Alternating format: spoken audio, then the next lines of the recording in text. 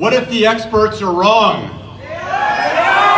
What if quarantining the healthy doesn't actually save lives? What if wearing a mask in public is not effective?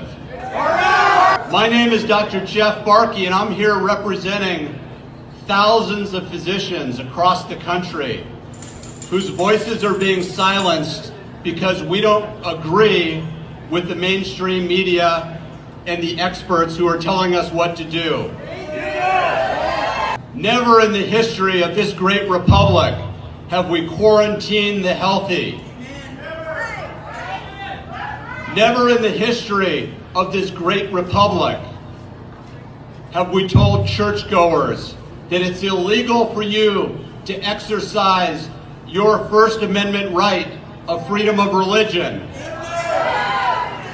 Yet at the same time, it's essential to keep pot dispensaries open. When liquor stores are deemed essential, but your businesses are deemed non-essential, there's something wrong going on.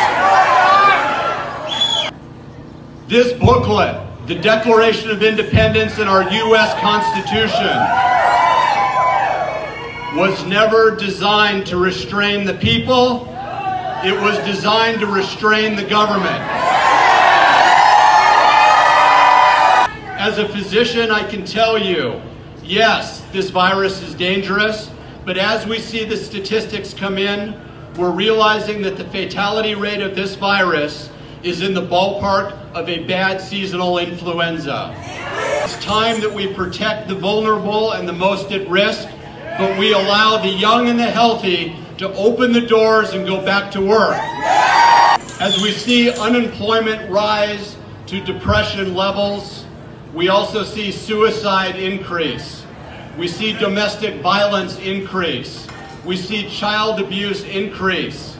We see alcohol and drug abuse increase, all because the government has overstepped its reach.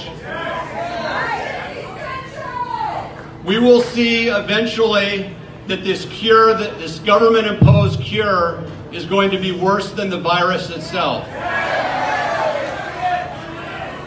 But what's happening now as unemployment reaches 20 to 30 million people is those folks are now becoming dependent on the government. We the people want to put our government back in its place. We want a small representative government, not a large tyrannical government.